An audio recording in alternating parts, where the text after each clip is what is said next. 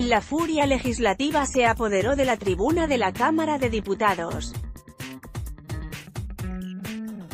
Gritos, manotazos y empujones entre legisladores, Ash de Morena luego que los panistas tomaron la tribuna y el PRI abandonó el salón de plenos.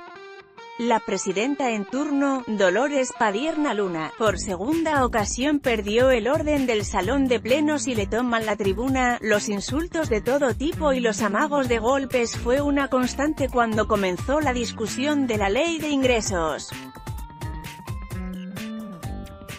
Política el PRI abandonó el salón de plenos de la Cámara de Diputados por lo que calificó de violencia verbal y física, luego de que Morena rechazó bajar los precios de las gasolinas, el gas doméstico y la electricidad de la ley de ingresos, cuando se discutían los artículos reservados en lo particular. El caos parlamentario inició cuando los panistas propusieron bajar las tarifas energéticas, lo que fue rechazado por la mayoría de Morena por 301 votos, 166 a favor y 3 abstenciones.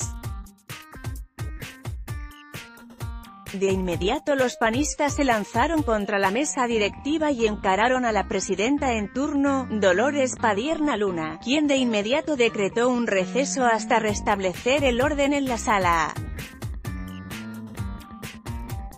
Los gritos y los empellones entre panistas y los de Morena siguieron arriba de la tribuna a pesar del receso.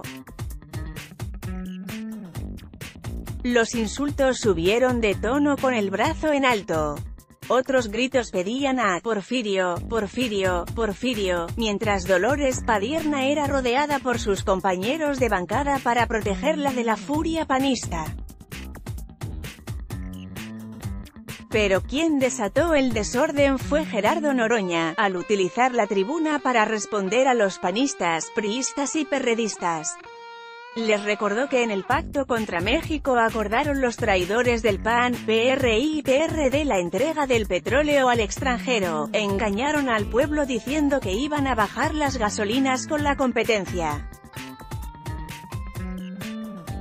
En vez de esas cartulinas, si tuvieran un poquito de vergüenza se pondrían una bolsa de papel en la cara. Esos comentarios encendieron a panistas y priistas que enfrentaron los insultos con una guerra verbal y cartulinas en mano con la leyenda, que bajen las gasolinas, que bajen las gasolinas. Noroña respondió que ellos PAN, tuvieron 672 mil millones de dólares de ingresos petroleros durante el gobierno de Vicente Fox y el gobierno usurpador de Felipe Calderón, en los que se robaron el dinero, nunca se han preocupado por el pueblo y hoy vienen aquí de hipócritas a decir que están preocupados por la gente cuando han sumido al país en la miseria, lo metieron en un baño de sangre, entregaron el patrimonio nacional y finanzas destrozadas, por eso les llamo cínicos. La derecha y cinismos debería ser sinónimo, los insultos del morenista calentaron de más los ánimos fanistas y respondieron con protestas bajo la tribuna. Dolores Padierna llamaba al diálogo, pero los panistas no escuchaban o no querían escucharla.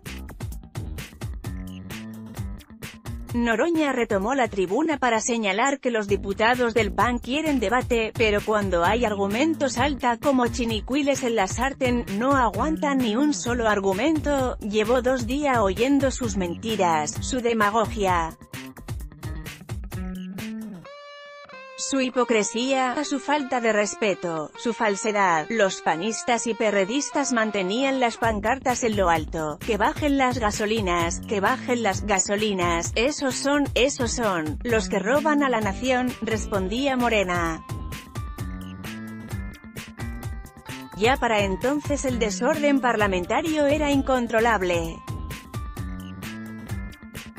En sus curules los priistas René Cisneros y Enrique Ochoa gritaban a sus compañeros de bancada para hacerse escuchar, daban órdenes de un lado a otro hasta que decidieron abandonar el salón de plenos. Desde la tribuna Padierna Luna fustigaba, lo que quieren es justamente hacer un desorden. Y nuevamente los gritos y el desorden.